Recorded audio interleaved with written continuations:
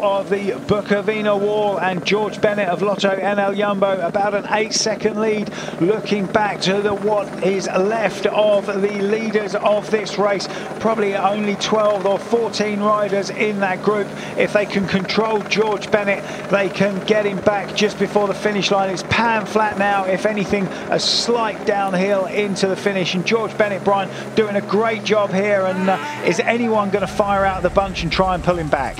Well I think uh, a lot of tired legs there. If they had the legs they would have tried uh, gone with uh, George Bennett. So George Bennett showing that uh, he's super strong especially today. He's left it late but uh, with uh, just under one and a half kilometers to go this small rise and then it kind of drops down a little bit. But Dylan Teuns trying behind with the Thibaut Pinot Dylan Teuns looked like he was in trouble and just getting dropped, but now pushing on and very quickly closing down that gap to George Bennett. How quickly things can change in uh, pro bike racing. It looked like uh, George Bennett was nailed on for this, but there's uh, no gap between Teuns and Kwiatkowski. Bennett going to have to suck it up as we see Thibaut Pinot attacking down the right hand side of the road, closely followed by Buchmann, I think it is, from uh, Bora Hansgrohe. Kwiatkowski still there in third place. One kilometre to go.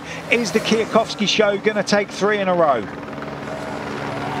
Kwiatkowski in the yellow jersey in about fourth place now. The pressure just come off on the front of the bunch. Looks around to see if he's got anybody there to help him. And he's all on his own as uh, one of Pinot's teammates from FDJ goes down the right-hand side of the road. Bit too late for descending on the top tube, but he seems to think it's going to work 600 metres to go. And it's Preidler from uh, Groupama FDJ as Simon Yates fires out of the bunch now, trying to take the stage win. Preidler it is with 400 metres to go. Yates trying to get on terms. A slight kick up to the finish. This left-hand turn. The riders are massing behind them. Dylan Teuns still fancies himself of getting something out of this race as it's the Bora Hansgrohe rider of uh, Buchmann trying to bring everybody back up to the wheel of Simon Yates and he's got there and Preidler it is for Groupama FDJ who takes the stage and a fantastic finish in the Bukovina Resort for the Queen stage of the Tour of Poland.